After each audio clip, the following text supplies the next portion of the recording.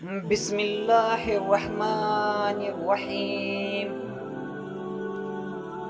मेरे दिल के सुकून के लिए इतना ही काफ़ी है कि जो कुछ होता है, वो अल्लाह की मर्ज़ी से होता है, लोगों की मर्ज़ी से नहीं। जो लोग अल्लाह की रज़ा की खातिर अपनी मनपसंद चीज़ों को छोड़ देते हैं, फिर अल्लाह उनको वो भी अता करता है जिसकी उन्होंने तमन्ना भी नहीं की होती।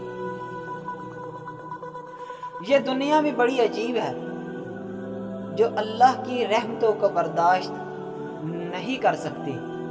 बेटी, मेहमान, बारिश, बीमारी।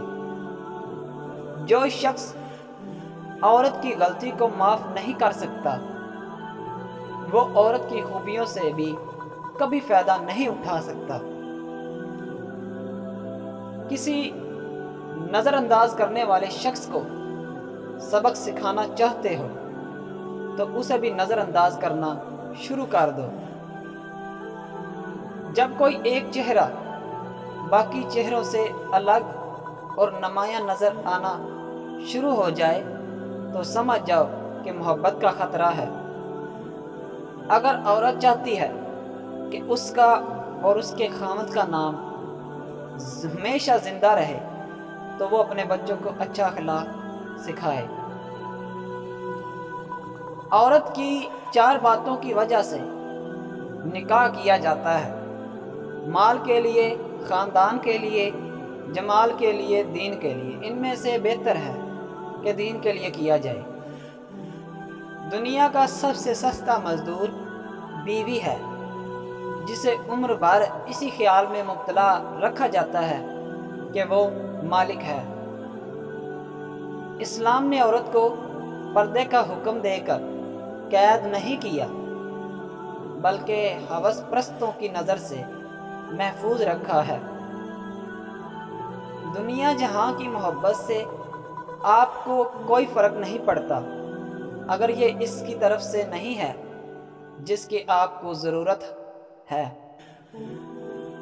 उस औरत से ज़्यादा खूबसूरत कोई नहीं जो अपने रब को राज़ी करने और अपने खामद की इज़्ज़त के लिए पर्दा करती है। साथ निभाने का हुनर सीखना है तो ताले से सीखो, जो टूट तो जाता है, मगर चाबी नहीं बदलता। किसी का सुकून छीन कर इबादतों से कुफारा अदा नहीं किया जा सकता। जब आप अपने जज्बात पर काबू रखना सीख जाएँगे तो समझ लें, आप बहुत ताकतवर इंसान बन चुके हैं।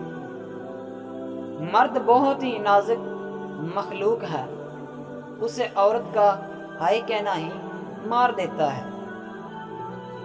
मोहब्बत करने वाले अना तोड़ने की कोशिश नहीं करते।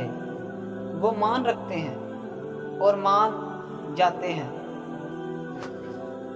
जिस औरत के गाल कुदरती तौर पर गुलाबी हों, दौलत उसकी आशक होती है। जिस औरत के चेहरे पर बाल हो, वो शहवत प्रस्त होगी। जिस औरत का चेहरा गोल हो मर्द उसकी कदर करेगा। जिस औरत का चेहरा लंबा हो, वो मक्कार और धोखेबाज होगी।